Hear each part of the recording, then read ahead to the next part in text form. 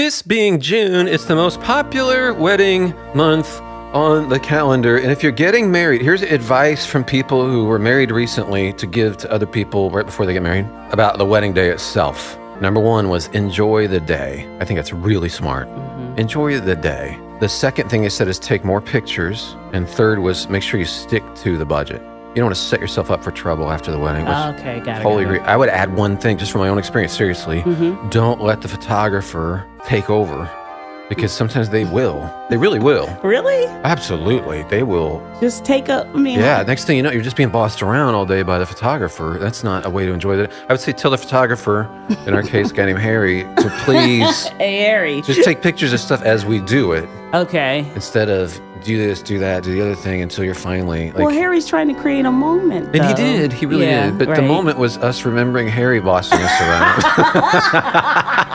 That's your mar- That's your wedding memory. Yeah, I know. I want to get married. I don't want to get Harried. Very See what I did nice. there? I just came up with that. Thank Fran. you. Thank that's you. great. Thanks a lot.